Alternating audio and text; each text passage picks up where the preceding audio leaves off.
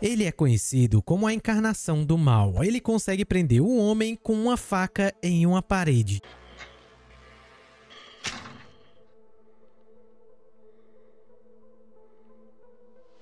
Ele consegue levar uma bala e não dizer um ai. Mas quando alguém derruba um pedaço de madeira nele, ele solta o maior gemidão. Pois é, hoje nós vamos falar sobre as maiores ironias por trás do Michael Myers no DBD. Você sabia que nos créditos dos filmes e no roteiro ele se refere ao Myers como The Shape? A ironia é que isso não só combina pelo motivo original, que dá a entender que ele é literalmente uma silhueta na noite sem rosto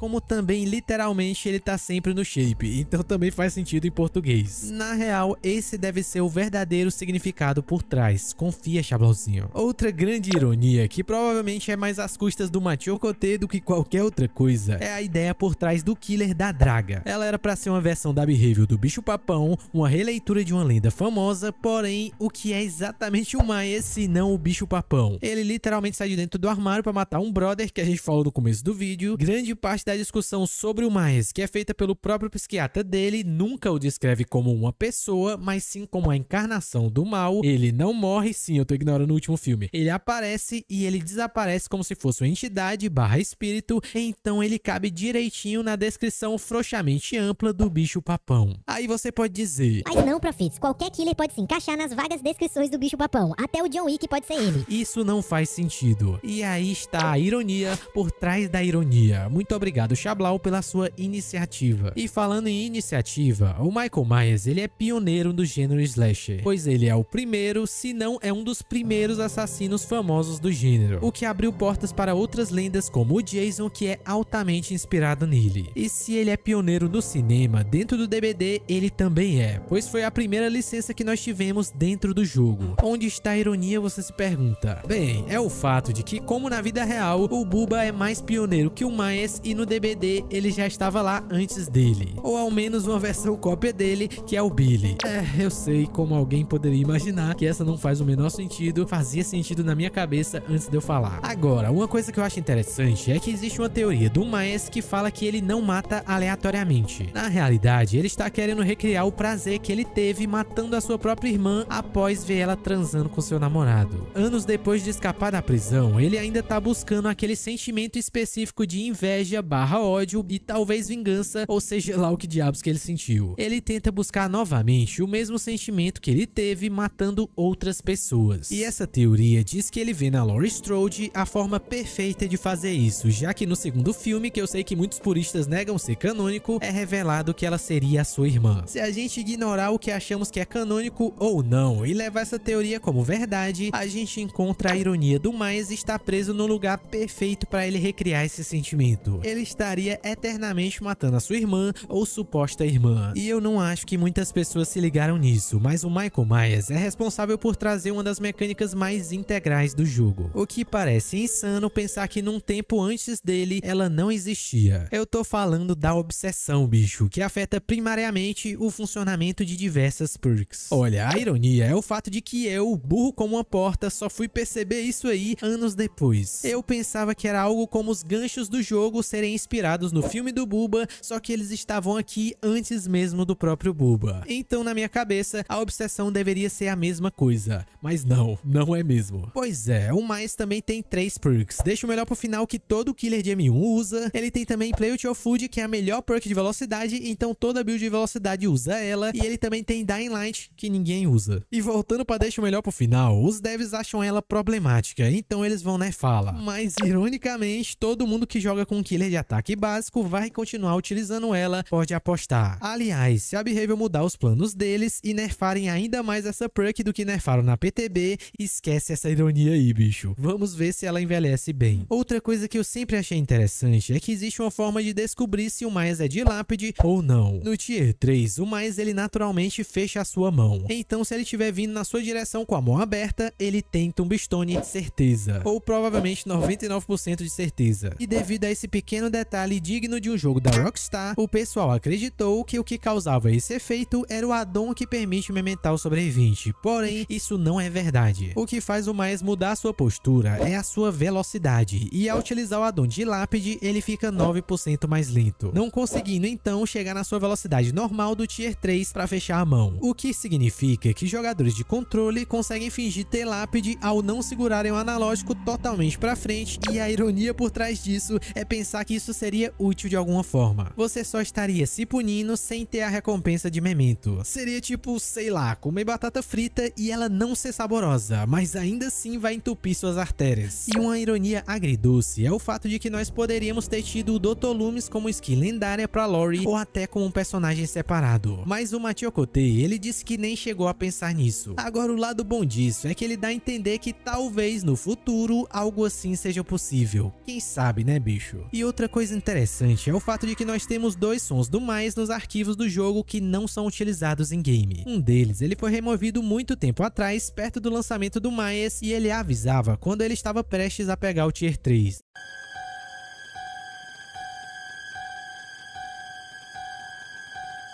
Ele era útil e estiloso demais, então a Behavior removeu ele. E o outro, ele era um som que até hoje a gente não sabe para que ele seria, apenas sabemos que ele soa bom demais para não ser usado.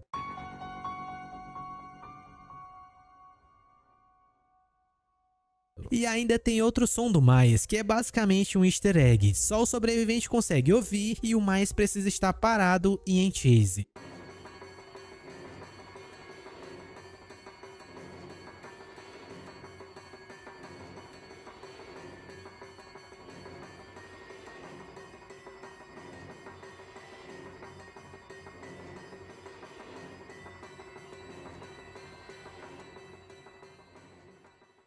Eu pessoalmente nunca ouvi dentro do jogo esse. Aliás, eu nunca escutei nenhum dos dois que estão dentro do jogo. Agora, pra quem diz que os devs do DBD não têm amor pelo jogo, saca só esse detalhe foda. Se você tiver algum programa como o Blender e você der um zoom na faca do mais, você consegue ver o que parecem ser digitais nela todinha. Eles se deram ao trabalho de adicionar um mínimo detalhe que talvez ninguém nunca notasse, e isso aí é uma coisa muito foda. E a ironia é que talvez você esteja certo sobre os devs, pois quem faz esses detalhes são os designers. Pois é. E finalmente, nós voltamos à ironia do início. O Miles, ele é a encarnação do mal, imparável por balas, fogo, facadas, mas uma jogadora de LoL consegue não só fazer ele de tonto, como consegue descer a madeirada nele e transformar ele em um inútil que só pode ver geradores voando e teabags no portão. A ironia por trás do Miles é ter tido uma adaptação tão perfeita que isso significa que ele não seria tão forte assim, nem a pau. Se no seu filme original ele apanha por uma babá, e nos filmes subsequentes essa mesma babá, já recebendo do INSS, desce a porrada nele de novo.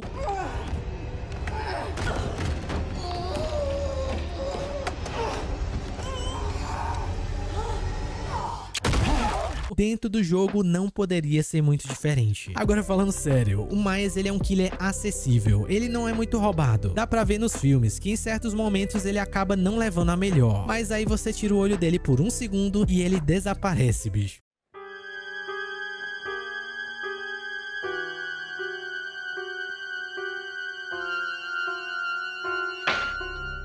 Te dar outro jumpscare. São ironias demais e talvez eu possa ter esquecido de alguma, então deixa aqui nos comentários se você tem uma pra mim. Se curtiu, dá um like e dá uma olhada no vídeo que começou esse formato, o do Chuck que tá na sua tela agora. Beba sua água com seus vegetais e nunca deixe de ser essa pessoa maravilhosa.